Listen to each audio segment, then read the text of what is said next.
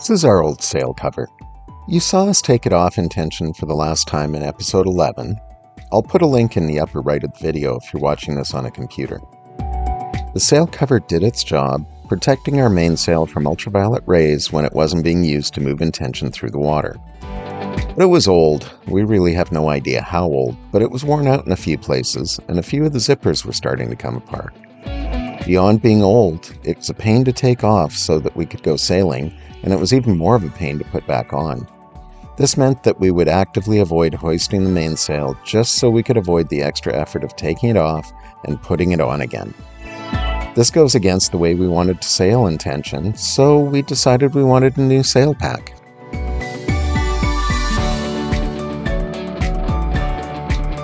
And this is the new sail pack. Sail pack's just a big cloth bag that attaches to the boom of a sailboat and zips closed at the top. With a sail pack, you basically just pull open the zipper and hoist the sail, and when you're done, you lower it back into the pack and zip it shut. I'm oversimplifying here, but honestly, not by much. We briefly toyed with the idea of hiring a canvas shop to sew a new sail pack for us, but the estimates that we got were pricey. Uh, I get that. Labor is expensive, and so is pretty much everything associated with a boat. Enter Sailrite. While doing research on sail packs, I found a YouTube video by Sailrite that detailed every step involved in making a sail pack. I'll put a link to that video in the description down below and in the upper right corner of the screen here. Anyway, after watching Sailrite's video, I realized that I already had all the sewing skills I needed to make our own sail pack. We bought a kit that included literally everything we needed to sew the sail pack and an LSZ1 walking foot sewing machine for about the same cost as the sail pack was going to be from a canvas shop. Like I said in episode 11, the Sailrite video made the process look so easy that I knew we could do it. If you can sew a straight stitch, you can sew a sail pack. We're not trying to replicate the Sailrite instructional video here. All we're trying to do is document what it was like for us to sew it. We highly recommend that you watch the Sailrite video for details on what measurements you need and how to follow through the instructions step by step. Well, hello. Here we are in our condo. We've pushed all our furniture over this way because we're starting to sew the sail pack today. The bolt of fabric that we got is 60 inches wide and the main body of the sail pack that we have to sew is uh, 190 inches long plus we have to add 6 inches for seam allowances. So that's, we need 196 inch run of fabric um, and 60 inches wide. So we've pushed all the furniture out of the way so we can do that here. Um, all of the steps that we're going to follow are really well done in Sailrite's uh, making a sail pack video, and I'm going to put a link to that in the comments below, or sorry, in the description below. Um, I'd advise you, if you're at all interested in this, even just idle interest, go and watch that video. It's a great video. We bought the complete sail pack kit from uh, Sailrite because it had all of the components we needed and it was going to be about the same cost as trying to figure out how much material we needed for each. They've already done that for the size of boom that we have, a 16 foot boom. Um, we're making a few modifications and adjustments to that, uh, particularly the way it's attached to the, the boom and uh, a little bit the way that the battens that will hold the top of the sail pack up are mounted to our lazy jack system. Uh, we're going to cover that in a little more detail in sections within how we sew this. Do you have anything you want to add? no, as usual, John has covered all the talkie points. all right. So we're going to now um, mark out the first part of our uh, sail pack and um, I'm going to do voiceover with the specific measurements that we took and how we're transferring that to this yeah. piece of fabric. Enjoy. Hopefully Excited. this doesn't take us a month. I don't think it will. Bye. Bye.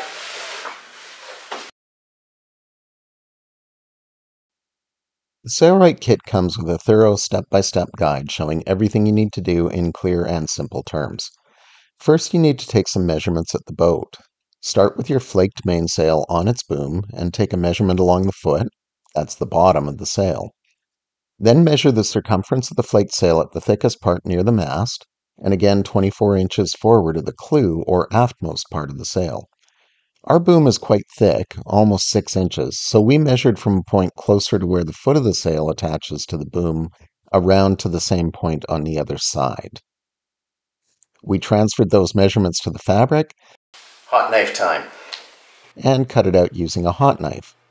This was one of the most difficult steps we had to do because we needed to have a clear, flat space that was about 16 feet by 5 feet. Uh, so take that into consideration if you want to sew your own sail pack. Once the port and starboard sides of the sail pack were cut, though, everything could be laid out in smaller sections, so that space is really just a one time requirement.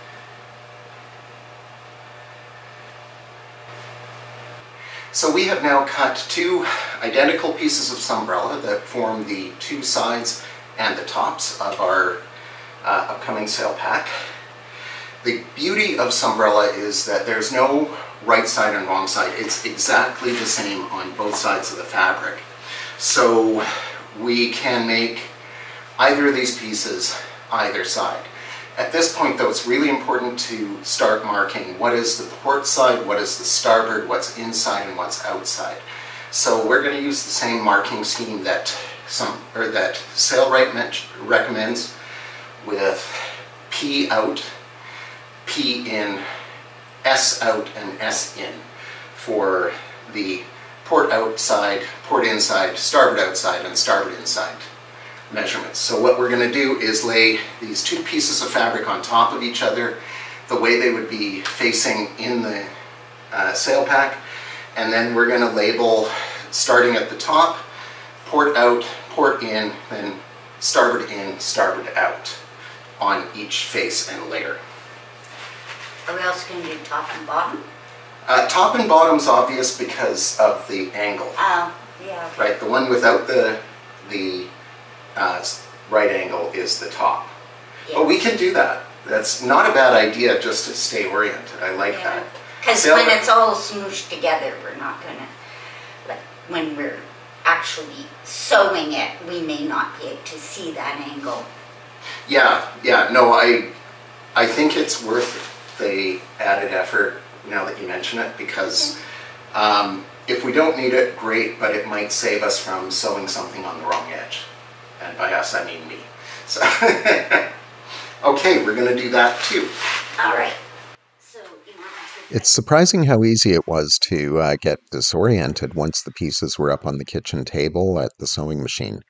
Uh, so I really can't stress strongly enough how important it is to carefully label your pieces, just like I am here.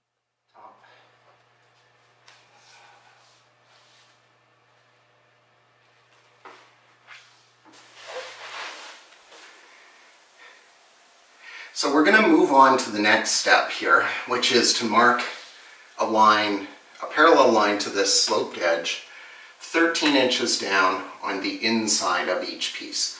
So again, that's why it's important that we've marked each of the pieces. We have starboard in and port in both facing up, and now we can just mark a straight line along that um, edge. One of the things we're doing is we have a transition to carpet right behind me here and it's harder to measure all across that transition and on carpet and be accurate. So we're doing all of our measurements and pulling the fabric onto our hardwood, hardwood surface here. Uh, it's a little bit of a pain, but we're doing it. I've sped the video up 400% here because it's kind of boring to watch people mark measurements down onto fabric. But um, truth be told, it's also funny as heck to watch Donna and I moving so quickly at our age. Enjoy! Once again, I just want to point out here that the instructions that Sailrite gives you are very clear and easy to understand. Just follow them step by step, and you will have no problem making a sail pack for yourself. Um, Hi there. So we're going to move on now to the next step of sewing this sail pack. And generally we're following the instructions that Sailrite sent on creating the sail cover. Um, but one of the things is we're making changes to the way that the lazy jacks are mounted uh, to the sail pack. And so I'm going to mark out now for reinforcements to the where the lazy jack lines will go through the, the cover. So at each of those lazy jack points, we're going to reinforce it with Dacron. In the instructions, they only reinforce the aft end of the batten pocket with Dacron. We're going to reinforce each of the batten locations where the lazy jack comes through, as well as the front, because why not?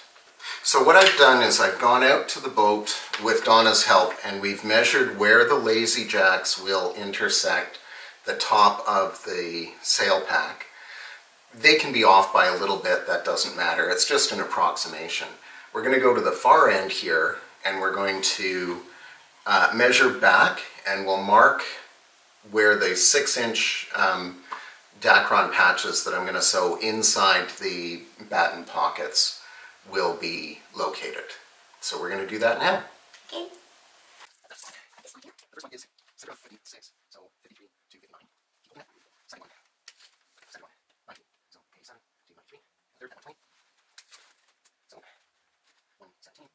23.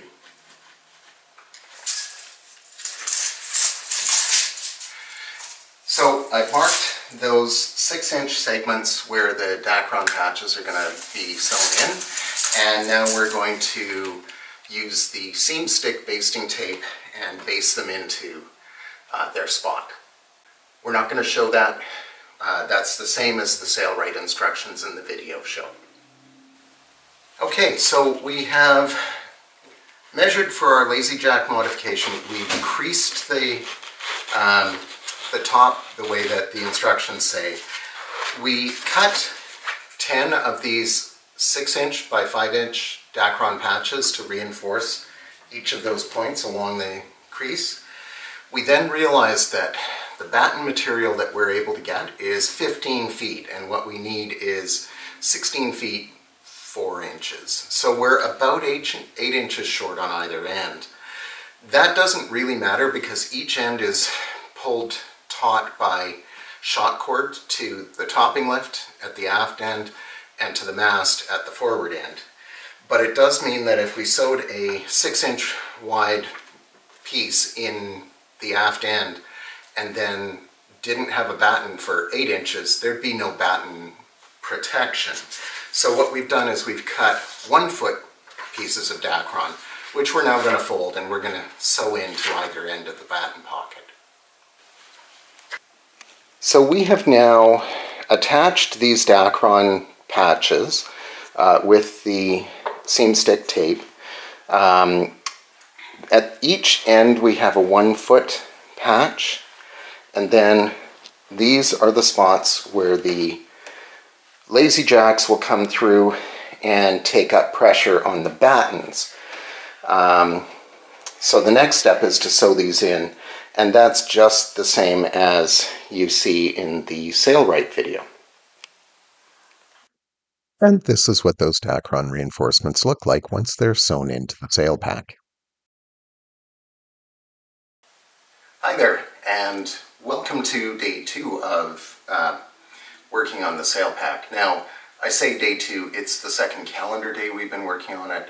We've only done an hour and a half or so work in cutting out and doing these initial seams. Um, my guess is it would be another three hours or so of work, but I'm gonna, I'm keeping track of the time and I'm going to give a total when we're done the project. One of the things that I noticed was we went out to the boat to take some additional measurements and I noticed that the aftmost lazy jack line seemed to be um, much further back than the measurements that I'd taken. And so I retook the measurements and yes, it looks like I'm off by as much as eight inches. Um, so what we're going to do is sew in an additional Dacron uh, pocket for the batten attachment aft of where this uh, Dacron uh, pocket is and that will allow us more leeway as to where we're going to put that, um, that lazy jack attachment. All right. Okay, so um, Donna is not teeny, teeny tiny. I mean, she is tiny, but this is forced perspective. I'm much closer to the camera. That's why I look huge. Um, these are our Dacron pocket patches for the Lazy Jack um, where it will attach to the battens. We're using Dacron on the inside to provide additional chafe protection and we're going to replicate on the port side the additional pocket patch that we added on the starboard side. Just to show you, we have pre-applied uh, actual Sailrite seam stick to these Dacron patches. We used the generic basting tape on the previous Dacron patches and what we found was they really didn't stick well enough to the um, Sunbrella in trying to manipulate this 16 foot long piece of fabric in the Sailrite. So um, this uh, name brand seam stick sticks much, much better. So right now we're going to um, fold over our crease and mark our, um, our patch locations, stick them down, and then sew them on. I'm going to take some footage showing me sewing these patches on just to show you what it looks like. I know I've said this before, but seriously, if you can sew a straight line, you can easily make this sail pack. Sure, it can be a little challenging to wrangle 16 feet of Sunbrella at times, but just take things slow and roll the fabric up and you'll have no problems. Even though Sunbrella is a robust synthetic canvas and the sail pack construction includes spots where there are six or even eight layers of fabric, the Ultrafeed LSZ1 never struggled or bogged down. It sewed like an absolute champ, pulling the work through without even a hiccup. It's not an inexpensive machine, but it really did make sewing something as big and sturdy as this sail pack an absolute breeze. I think it would be possible to sew this uh, sail pack on a lighter duty sewing machine, but you would probably have to help the machine by manually rolling the balance or hand wheel to guide the needle through many layers of fabric. You have to consider how much of a pain in the bottom it's going to be trying to use a smaller sewing machine.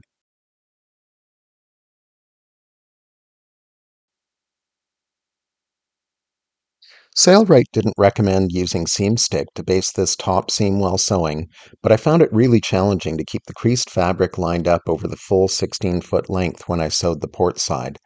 I decided to use the generic basting tape I bought from Amazon on the starboard side, and honestly, I think it was a lot easier.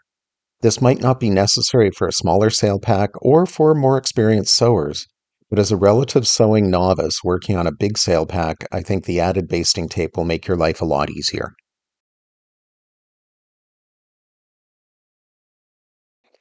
One comment here.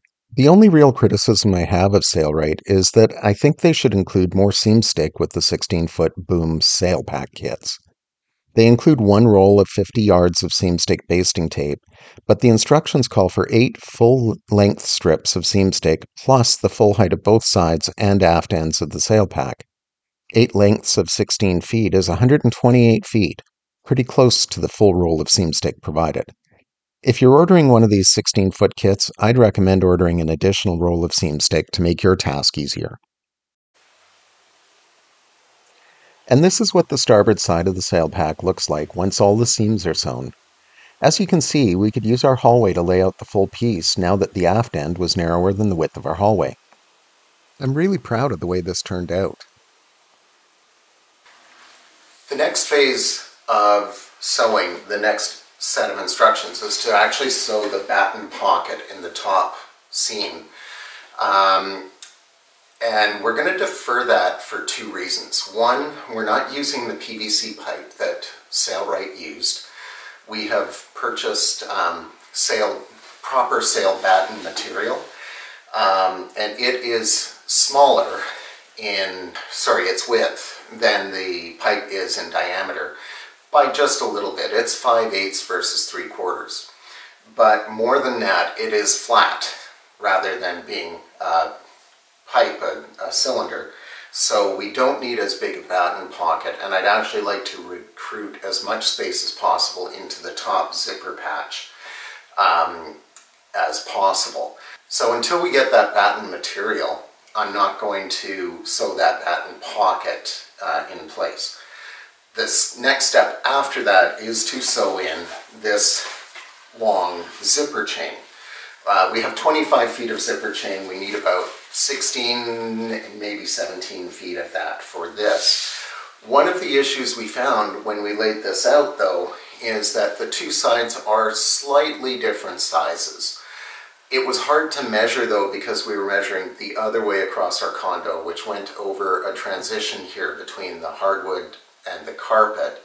And so what we're going to do here is we've laid this out down the hall and we're going to um, measure accurately the discrepancy between the two sides when they're both laying on top of each other on the hardwood.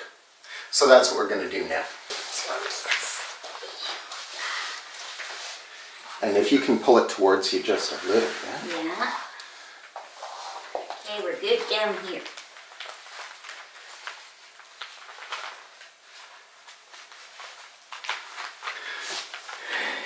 You'll see that these two sides actually line up pretty much perfectly.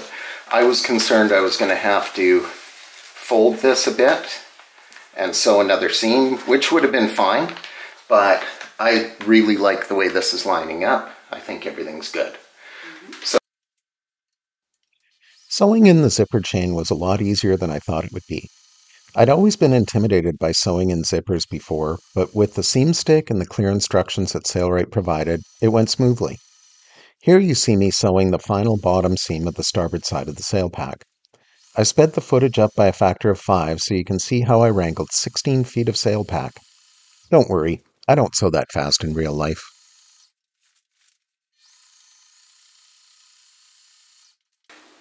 Well, I discovered that I ran out of batteries partway through filming that and I said a whole bit to the camera, but nobody got to hear it. Um, this is what the seam looks like after finishing it.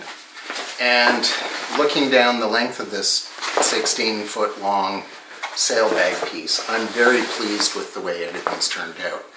The zipper teeth are hidden.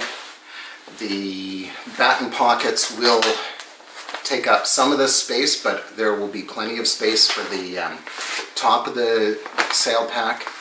And um, I think we're ready to move on to the next step. Yesterday we laid out the lines on the starboard side uh, piece of the sail pack on the floor in our hallway at the, our condo. And that worked well, but I'm 60 years old and it was really kind of painful uh, being on the floor for that long. So what we're going to try today is to do it here on our um, dining room table that opens up into quite a wide surface. Um, the lines that we're laying out are based on these reference points, the, this inside uh, cut and this inside cut. And so what we're going to do is just work four feet at a time, four times across the 16 foot length of this. Hopefully that'll be easier. Working on the table was undeniably easier on my back, but it wasn't without its own challenges. Every time we moved the piece, we had to realign things to make sure that our straight lines were still straight. In the end, I don't think we saved any time or even effort with this experiment. Of course, it would have been a lot easier if we had a 16 foot work table at our disposal. But we didn't. Um, if, if you get the Sailrite sail pack, you'll get these instructions, and they have a whole lot of information in them, which is really good. What I've found though is that it's designed for one size of boat and Intention is quite a big boat at 42 feet. It has quite a big boom at 16 feet. And so the sail is a lot bigger than I think the sails they intend these for. So I've had to upscale some of the measurements. Um, what we're going to do is we are going to use this two inch nylon webbing that came with our kit, but we've extended it by an inch because we weren't getting enough working space here to go under um, or through the sail in the four spots that these webbing straps are going to go. These straps are going to go at the very front of the sail, at the tack, um, which if you know anything about sails, that's the lower part of the sail that attaches to the boom um, or to the, the boat. Um, they're also going to go at the very back of the sail, at the clew. Uh, that's the part that um, is the back part of the triangle of the sail. Um, and each of those is going to go under an attachment for the sail. Then we're going to cut two slits in the uh, base of the sail at the uh, in between the reefing lines, in between the um, third and second reefing line and the second and first reefing line. We could have cut slits everywhere on the sail and it would have actually made this installation a little faster and easier, but we don't want to cut slits in our sail if we don't have to. It is a recommended procedure by, um, or a recommended alternative by Sailrite, but we didn't feel comfortable in that.